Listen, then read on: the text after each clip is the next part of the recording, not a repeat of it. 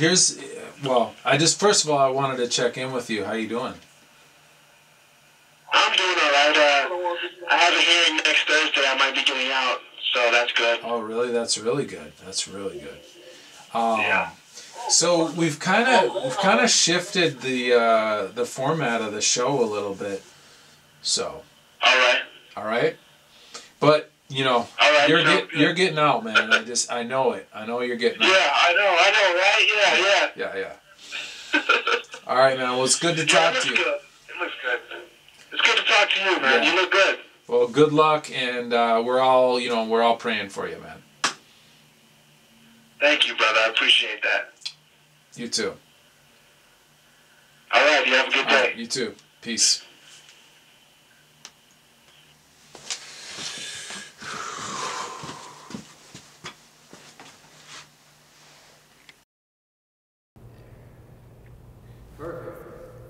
Okay, Set. Go. Kenny.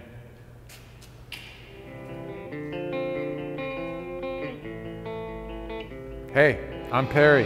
This is my American studio.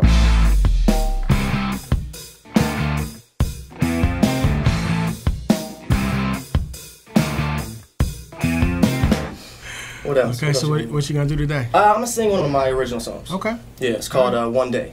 And did, were you warned that you got two minutes? Two minutes, I heard. So right, right. Okay. kind of just uh, kind of revised it in the other room. So if you like it, All right. okay? Okay. All right.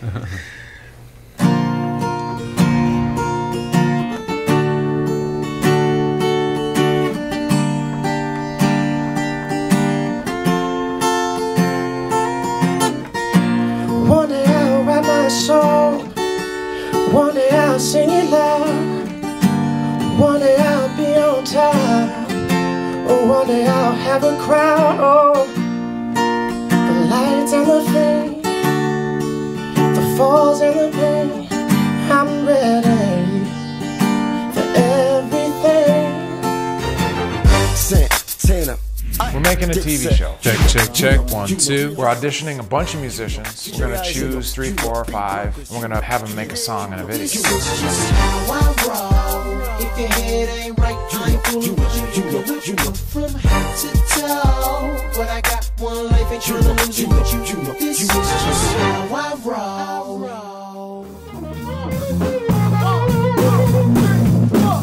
Ready to ride, put your hands up high. Now let me hear you say, make your money. Make your money. So yeah, I know y'all judging this, but come on, yo. Now if you're ready to ride, put your hands up high. Now let me hear you say, make your money. Say it. Make your money. Make your money, money. If you're ready to rock, then the party don't stop. Let me hear you say, make your money. Say, make your money, money. Now if you're ready to rock. Like, like if you told us suddenly that you didn't want us to put you on film, we'd have to. Exactly, when they come You know what I together. mean? You'd make uh, Adam's life, editing life. Yes, very, very, very. the people know I'm different. Yeah. Yeah, I gotta go through and check some of these. Uh, like What is your nationality? No, and Kennedy.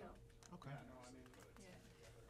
And then Kennedy was, she was like an hour early, and she was just like, I'm just here to see. This studio is a miracle. Yeah, when I came over here from the north side, uh, it was chaos. This is it, man. This is how we're leaving it. This is how we're leaving it, man. It's gonna be dead. It is dead. Wow. It's trippy. Remember when when when they were when this building was for sale? You know that I was still here and the building was for sale. The real estate agent would call me and be like, "Hey, we're to do a showing," you know. I would go over there in that parking lot and I would be like I'd be like this, watching them, you know. And if you know, if they walked in and then they came out, I'd be like, "Okay, sweet. Got another month," you know. You know how many times that door got bashed in? People kicking, people just kick and kick and kick at that door. Just bend it to all hell, pull on the door, just pull the handle off the door. That just wasn't my place. You know, for some reason, the North Side didn't accept me. It didn't it didn't hold me in in my power, in my in the studio's greatness. That was a that was a yeah, that really Barry's was. old building, Yeah. yeah. it was. Yeah, it was. For me, it's it's everything. You know, being in the studio and making music, and it's it's um, it's the way I live and it's the way I survive. You know, um, and that's you know some people are in the zone, uh, always in a, in a musical zone or in a creative zone. For me, I'm always in a studio zone. I'm always uh, just thinking about the studio. What's best for the studio.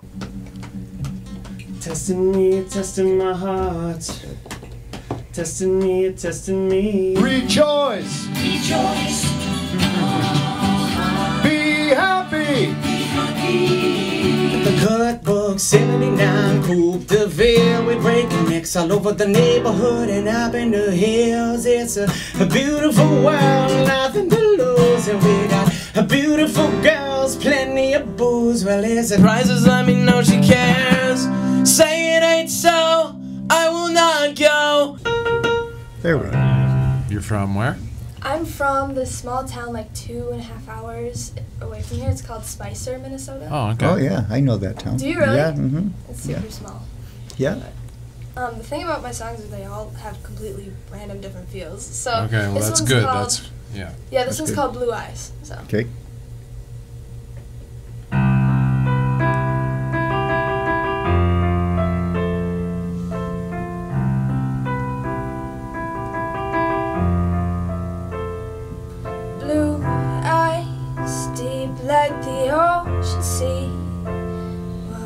Oh shoot, sorry, I got nervous. My name is Kennedy Licken. Um, I am 16 years old, and I sang my two original pieces, "Playing Your Game" and "Blue Eyes." I'm here because I have a passion for music, and if I can have anyone listen to my music for just a couple seconds, I'm happy. So uh, I create music so that people listen to it, and yeah, so I love music, and I'm sure that's why everyone else is here. all of a sudden, when she was about between 10 and 12, she started writing these amazing songs about emotions and love. And she'd never even had a boyfriend, but she would write these songs about. we almost, we knew right away that there was just something special about the way she wrote. I tell everybody she's gonna sell a song, no doubt. I mean, she will sell a song that she's written. Cause there's something about that thing called love in the way. Feels a You're you're probably gonna pick Kennedy. But, but only you don't know. you know. Well, I, I would if I had a, a choice. Yeah. that would be- See, he's thinking about Yeah. Kennedy. I didn't so. Okay. That's really Pretty good good. too. Really good. Yeah. What genre would you say you are? You know, I have really had this passion for deep house music, and so my goal is to learn how to produce my own beats technically, but I don't Mhm. really want to have like the like the typical techno dance music. I want to Mhm. have a, actually a different sound than like everybody else. I'm really like artists that influence me are Lana Del Rey and Amy Winehouse and people who are just known for their different sound. Okay. thank you very Thank much you very for much. your Yeah. audition.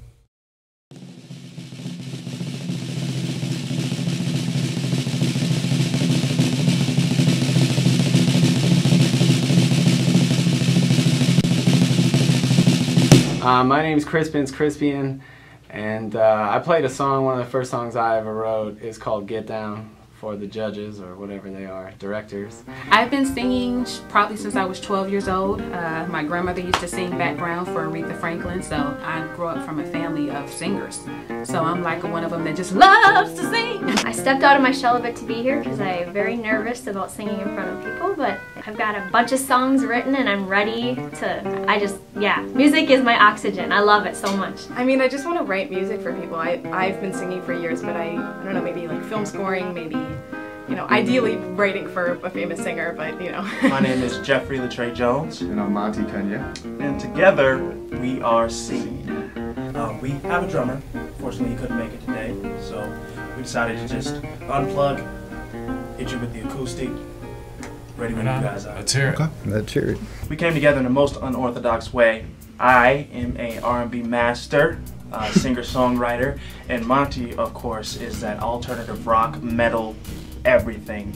Um, we came together about a year ago. Um, started banging together some tracks, and the results are just amazing. I knew I would met Jeff before, the singer. He worked with an, uh, another engineer of mine. You know, the next day he said, "Yeah, you should listen to this." And it was cool. I mean, I really liked it. I was, I was thinking to myself, I can hear this on the radio. So I knew he was coming. So we, when he walked through the door, my my mind was just totally ready to hear some like R&B and it didn't take it took me till about half or a minute into the song to realize it wasn't. I was thinking, I was like, well, now this isn't what I thought was going to come out of your mouth. Why me? I never asked for any of this of night. Me. Long enough for both of us to be set free. Cause everything circles around once again.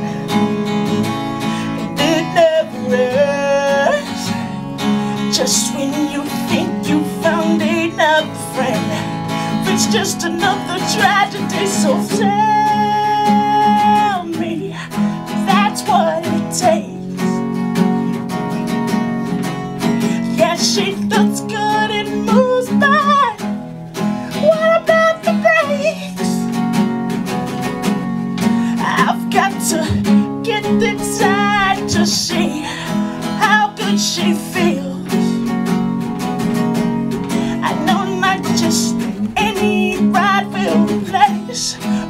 set of wheels. So I'm asking why me. I never asked for any of this. Me. Long enough for both of us to be set free.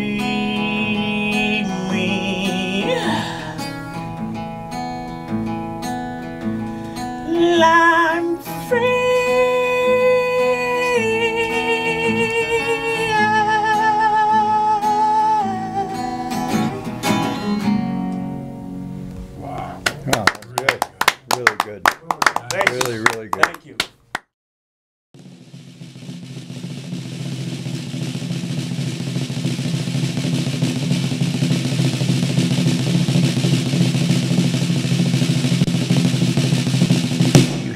to be able to say no. Uh, That's the key. And that as the more I get, you know, the older I get, the more I just say no.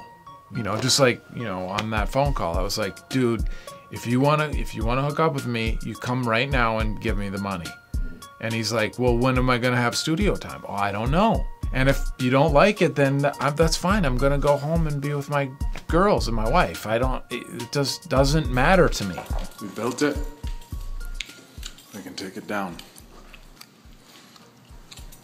This place is turning into a splat ball. When I filled out my net worth in 2007 or something, it said that I was worth $2 million and I almost had a panic attack. I mean, you think all your problems are solved, but it, it really, it's really just another problem, you know? To a certain extent, I, I felt like I needed more. And so in 2009, I met a guy, he's a conniving, manipulative dude. I mean, I, literally, I felt like I was in a trance for the whole year that we worked together. But between him and me, the year 2009 was the year my business went from doing okay to completely bankrupt with no money, desperate.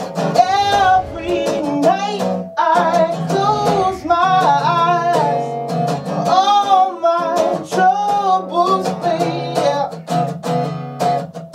Every morning when I rise, I'm just sleeping in this bed I made. Carter was great because his I loved his voice. I'd seen a lot of potential. I'm like, you know what? I, I haven't heard very much of that. So he was other choice. So since we're doing the wild card thing, that solves that problem. And the other problem is Kennedy, and Kenny's handling her. So I, I believe I'll be taking Austin. Okay. Austin James. This is just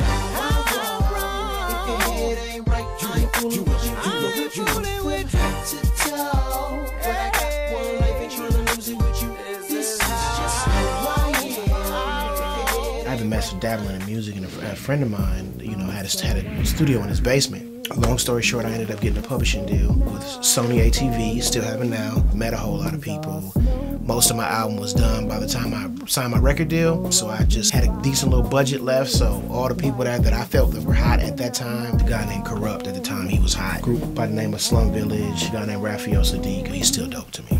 What's up? This is this is Jay Isaac, man. Um, we're actually filming right now, calling you on speakerphone to let you know that uh, you are one of the lucky ones. yep. I definitely know that music is, you know, to make it in the music industry is less than, you know, one one hundredth of, of a percent um, who actually try for it, actually make it. You know, but for me, I mean, you, you don't know unless you do try. Um, and for the future, for me, you know, I, I hope to have a successful career in music. Um, at least being able to to uh, to perform and, and continue and write and record and you know, because music is a thing that you know, hands down, at the end of the day, will make me happy. I got into music when I was 15 years old, and I don't know, to be honest, it was probably to impress a girl. All right, should I just start? Yeah. All right, here we go. The song's called What the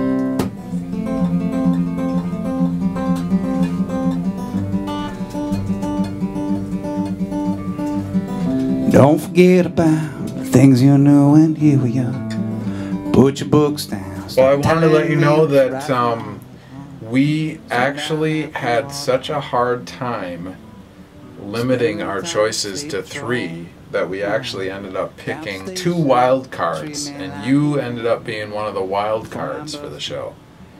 Um, so we're actually hoping you'd be willing to collaborate with the other wild card. Yeah, that sounds awesome. So there's another artist, his name's Christian Murphy. He teaches guitar and bass and keyboards, and he's actually a tenant in the building here. And uh, he writes he writes songs, and I guess I don't have it all fleshed out at this point, but I think it'll make for some compelling uh, TV. Did I do wrong? Yeah, I like it. Well, live my life. I thought it went great. I don't play anymore. You know, I got a 10 month old son. I'm just trying to be a good example for. And, you know, for you know, when I decided to do this a couple hours ago, I didn't even know if I was going to be able to play a song all the way through. I was like, "Shoot, do I, do I remember how to play this song? Gamble with our souls, never fair, it ain't equal. Relatives on that needle. Doctor murdered the fetus, and my, my brother's keeper. Ripley wouldn't believe us. FEMA wouldn't save us. Mama had to raise us. That's my. So the white man trade us. Mask Mascara lifestyle, everything was made up. Rather put it down instead of trying to save up. Stay down so long, you would think Mello gave up. And that's real. That's what's up. When I think on you, I get this feeling. Like what if we'd had a bit more time? When I think on you, my head is reeling. Can I find a way to make you mine? Still a brother, no. Under the undertow is where frozen acts tank. I watched your easel crack before your portrait faded blank. Too much white canvas left, but you stayed true to what you'd lose, only to lose yourself. So now. 2010 was a year of, of attempting to rebuild. And I took a trip to Mexico, and it wasn't a vacation, it was actually a, a ceremonial trip. And I got a call the second night I was there, seven rooms had been robbed. And at that point, I just I called my bank and I said, look, I'm not gonna I'm not gonna make any more mortgage payments. I don't want to be underwater. I can't even make this thing cash flow. I was given notice on August 1st, and on August 6th, I signed a lease in this in this location.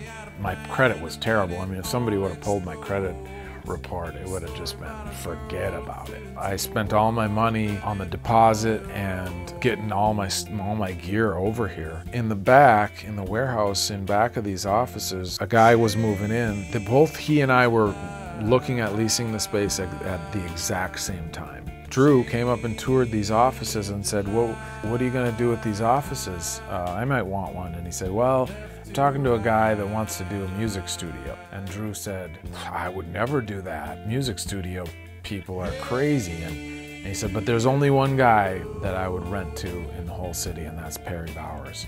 when I came in to this place and Jay Isaac walked in it for the first time and we were just in the control room and he kind of looked around and he was, he said, man, you, you have been blessed. And that's, that was the first time I really realized it because so much was going on. I was moving things. I was trying to figure out how I was going to pay my bills and feed my family. And just I had so many different things on my mind that I never really took the time to appreciate how blessed I was.